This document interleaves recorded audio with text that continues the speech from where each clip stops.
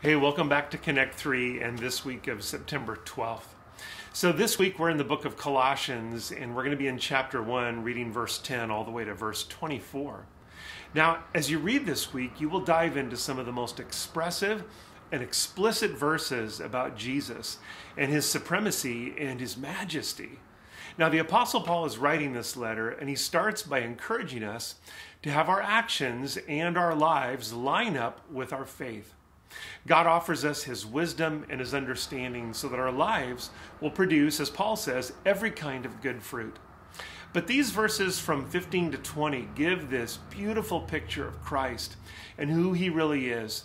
From creation to his headship over the church to his work of sacrifice and redemption for me and for you. So let these verses sink in deep this week.